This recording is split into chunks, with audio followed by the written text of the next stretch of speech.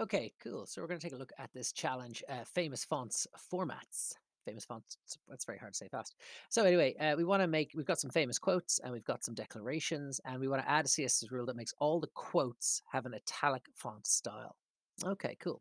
So here we can see that we've put uh, we've done the class as the quote, and to edit a class quote, you've got dot quote as he's got done here.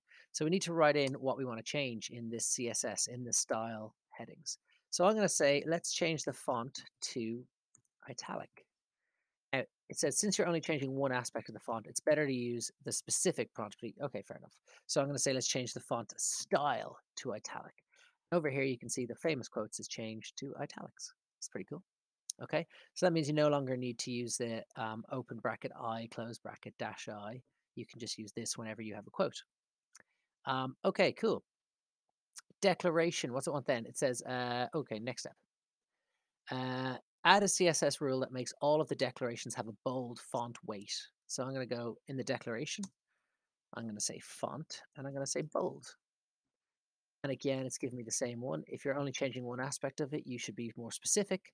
So I'm going to say font style bold. Nope. To make them bold, you'll need to use font weight. Okay, I didn't know that. So I'm going to go to Okay, cool. Look now, my quotes are all in italics. My weights are all weighted. I'm Batman. Also, the new Batman movie coming out looks amazing.